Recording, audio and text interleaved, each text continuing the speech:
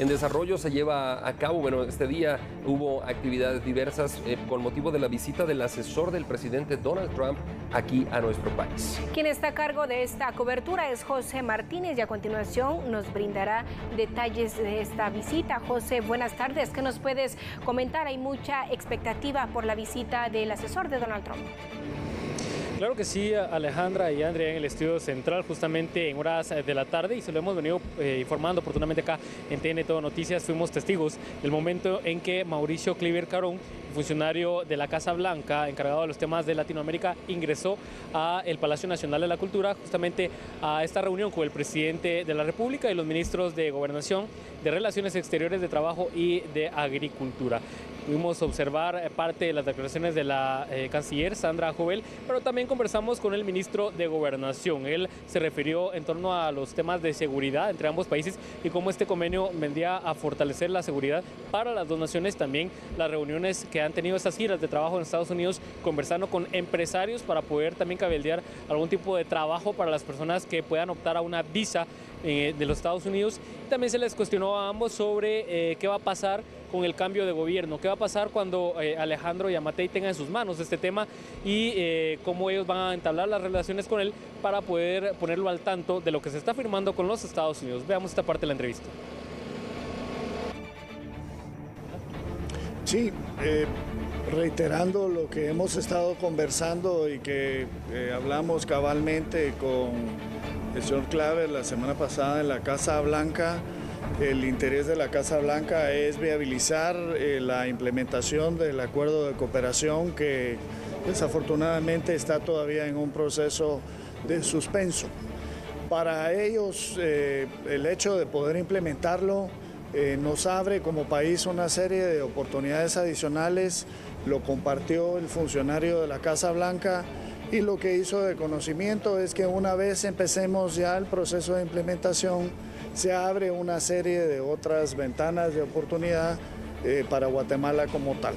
O sea que esto va mucho más allá de solo el tema eh, de las visas H2A para los trabajadores agrícolas, que dicho sea de paso fue una reunión muy muy positiva la de la semana pasada porque nos reunimos eh, con empresarios del, del área agrícola de Estados Unidos que nos manifestaron que están sumamente interesados en poder contratar a nuestros trabajadores agrícolas. ¿Tienen más reuniones de este tipo con otros funcionarios o con él?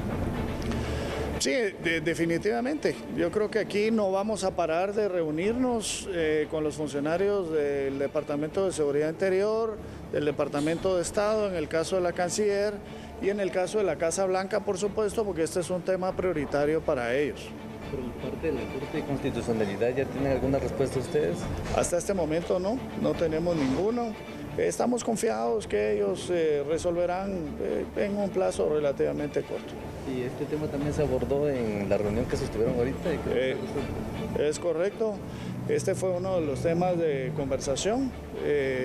nos manifestaron ellos que ellos van a estar a la espera de la resolución, pero nuevamente nos reiteraron ese sentido de urgencia que no podemos perder como guatemaltecos. Eh, canciller, eh, también eh, indicaba el presidente electo Alejandro Yamatei que se estaría reuniendo con usted para poder analizar a profundidad este tema del acuerdo que se firmó con Estados Unidos. ¿Ya se reunieron ustedes? Entiendo que el presidente electo anda en reuniones fuera del país. en su momento se harán las reuniones correspondientes conforme lo indicó el presidente Morales. el presidente Morales ya tuvo ese primer acercamiento y hasta que el presidente Morales pues haya organizado también todo lo que ellos conversaron en su momento. Nosotros estamos dispuestos a darle toda la información cuando así se requiere. De que llegar un grupo de técnico de parte de ellos para que ahora viajara con ustedes hacia Washington a las reuniones. Eh, ¿Esto ya se había contemplado también con el presidente Morales? Tengo entendido que sí, eh, lo conversaron directamente con el presidente Morales y están en, esas negociaciones en ese momento de las coordinaciones necesarias. entendería nada más que porque no está el presidente electo en este momento en Guatemala, pues no se va a cabo estas reuniones, pero estamos dispuestos a, poder apoyarnos en, la mejor medida posible, como lo hizo ver el presidente Morales. por último, ¿cuáles son las declaraciones que brindó el presidente electo Alejandro Yamatei? Indicaba que este acuerdo, el de no ver una pues, respuesta positiva para Guatemala, él estaría tal vez cancelando esto, buscar otras soluciones. ¿Ustedes cómo ven este,